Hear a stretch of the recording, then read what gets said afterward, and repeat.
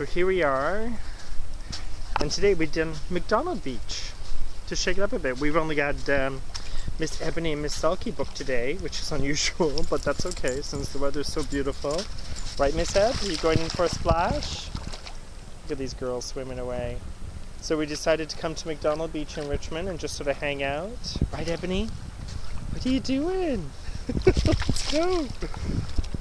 Rio? I know it's a different kind of beach. Nothing smelly though. Where can we find something dead to roll in? I don't think it's that kind of beach, ladies. Oh, good one. Right, Eb?